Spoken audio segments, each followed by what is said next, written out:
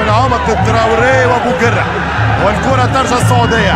هدف يقلب المباراة. الدوسري خطيره والهدف والهدف والهدف. هدف يقلب المباراة. هدف. هدف أزرق عن طريق 13 سلمان الفرج. هدف أول لنادي الهلال. الهدف الأول للهلال. الهدف الأول للهلال. في الدقيقة 18 من الشوط الثاني. هنا التدخل القوي. هنا الضغط يجيب نتيجة يعطي بالكرة الدوسري. يدخل سالم الدوسري. الدفاع القطري ما يتمركزش مليح. والقادم من الخلف يضرب للأمام.